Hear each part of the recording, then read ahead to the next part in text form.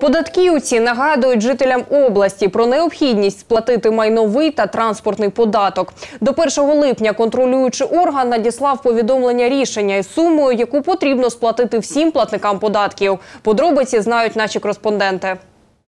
На сьогоднішній день з майже 800 тисяч власників землі в області податок мають платити лише половина. З 500 тисяч власників нерухомості лише 45 тисяч сплачують податок, говорять в податковій інспекції. Нагадаємо, що податок нараховується тим, хто має квартиру більше 60 квадратних метрів та будинок більше 120 квадратів. При цьому власники не мають пільг. Щодо власників автотранспорту, то податок сплачують ті, чиїм транспортним засобам менше 5 років, та їхня вартість складає майже 1 мільйон 400 тисяч гривень. Всі податки йдуть до місцевих бюджетів. Минулого року майже 340 мільйонів гривень потрапили до скарбниці. За період, що пройшов у 2018 році, ця сума складає 115 мільйонів. Всі, хто має сплатити податок, вже отримали квитанцію. Проте, за словами спеціалістів ДФС, на сьогодні немає повної бази тих, хто зобов'язаний платити податок.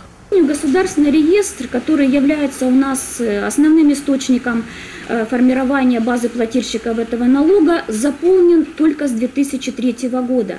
То есть если право собственности на недвижимое имущество было оформлено гражданином до 2003 года, эти данные остаются э, в архивах БТИ на бумажных носителях. Если человек знает и понимает, у него есть документы на право собственности на те объекты, которые являются объектами налогообложения, э, он должен обратиться э, в органы фискальной службы, в налоговую инспекцию по месту своей регистрации. Інша проблема, з якою зіштовхуються ДФСники, це неправдиві дані щодо місця реєстрації платника податку. Повідомлення про необхідність сплатити податок на землю чи нерухомість направляється за адресою, яку платник сам залишив в контролюючих органах.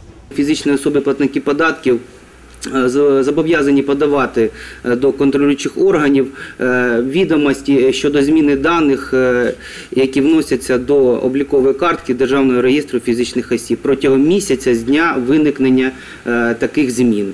На сьогодні за законом ставки майнового податку затверджуються органами місцевої влади. Вони можуть складатися від піввідсотка до півтора. Нараховується ця сума від мінімальної заробітної платні за один надлишковий квадратний метр. Нагадаємо, з 1 січня 2017 року мінімальна зарплата становила 3200 гривень.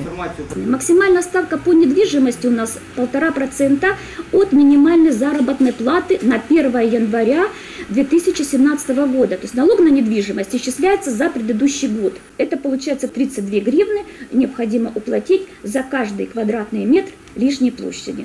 Зайва площа – це та, що перевищує законом встановлений ліміт, що не оподатковується. У разі несплати податку власникам квартир, будинків та земельних ділянок загрожує нарахування штрафу, говорять ДФС. Квитанція вже буде на 20% більше від попередньої, якщо протягом місяця платник податку не внесе кошти до бюджету. При цьому податківці нагадують про категорію населення, яку можуть звільнити від сплати податку. Це пільговики, пенсіонери, інваліди, багатодітні родини, учасники бойових дій та інші.